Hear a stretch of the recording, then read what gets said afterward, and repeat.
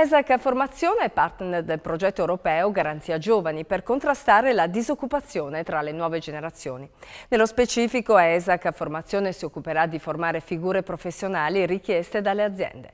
Ne parliamo con Sergio Terzo del Centro Formazione ESAC. Tramite i finanziamenti della comunità europea permette ai giovani fino a 29 anni che sono senza occupazione di avere un accesso agevolato al mondo del lavoro.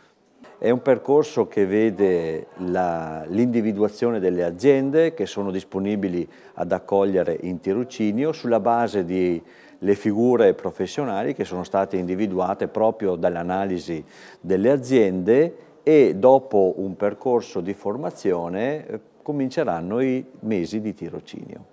Quali sono appunto queste figure che avete individuato, quindi quali figure in formazione? Proprio dall'analisi dei fabbisogni delle aziende abbiamo visto che sono particolarmente richieste le figure dell'addetto vendita e quindi eh, coloro che devono poi trovare occupazione all'interno del negozio come commesso o come commessa.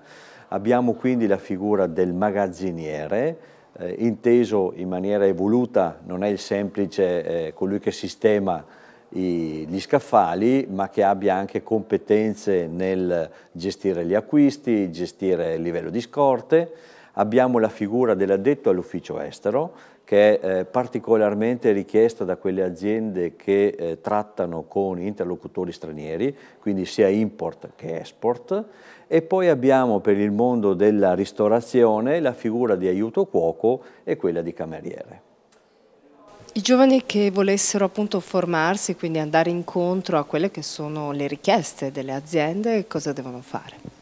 Anzitutto rivolgersi alla nostra associazione dove possono trovare tutte le informazioni, tutte le modalità e anche partecipare al processo di selezione perché eh, queste attività devono necessariamente basarsi anche su una selezione dei candidati.